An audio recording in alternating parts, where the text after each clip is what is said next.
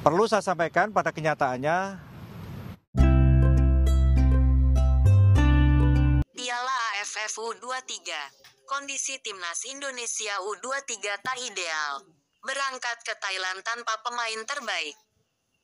Tim nasional Indonesia U23 berangkat ke Thailand untuk bersaing di Piala AFF U23 yang sekaligus dimanfaatkan sebagai persiapan jelang kualifikasi AFC Asia pada September. Piala AFF U23 ini menjadi persiapan tim U23 berlaga di kualifikasi AFC Asia melawan Taiwan, China Taipei, dan Turkmenistan pada September. Lalu berlanjut ke target utama bisa berlaga di AFC Cup 2023 di Qatar sebagai kualifikasi ke Olimpiade Paris.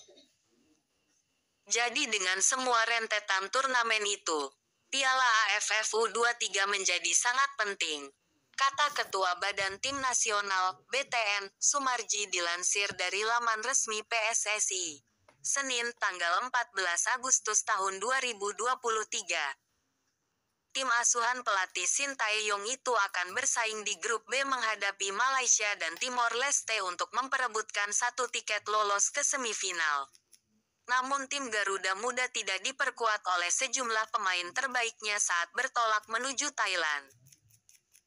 Sintayong tidak dapat menyertakan pemain-pemain U23 yang berlabel bintang di Liga 1 2023 per 2024 seperti Rizky Rido, Witan Sulaiman, Adi Satrio hingga Fajar Fatur Rahman.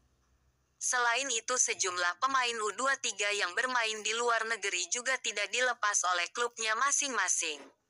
Meskipun pemain tidak komplit, mereka berangkat ke Thailand tidak untuk berlibur mereka saya pastikan akan bekerja keras untuk menjadi yang terbaik, kata Shin Taeyong.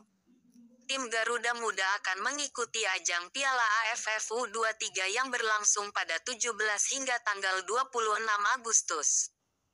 Indonesia akan berhadapan dengan Malaysia pada pertandingan perdana pada tanggal 18 Agustus dan dilanjutkan melawan Timor Leste pada tanggal 20 Agustus. Sumber Antara